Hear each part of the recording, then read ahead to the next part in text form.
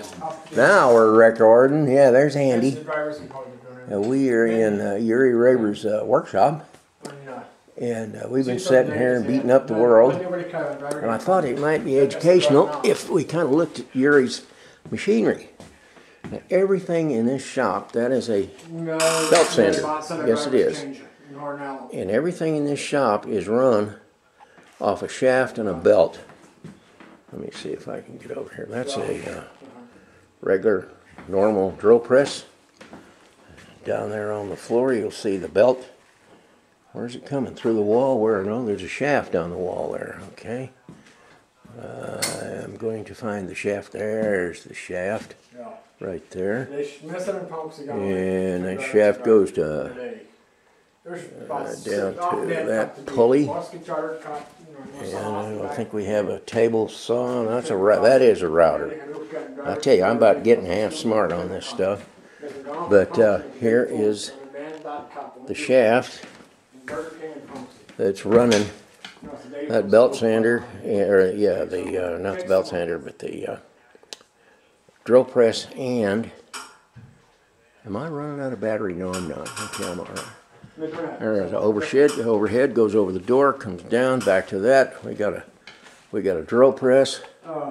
Uh, Looks like oh, up to state, up to state drill press. Uh, we know what we got here. What is this thing? I don't know what that thing is. It's a thing. Uh, once again, a belt. There's the belt coming out of the floor. That drives it. I think someplace around here. That is a router, planer. There's a gun. Everybody knows what a gun is. Uh, there's a circular saw.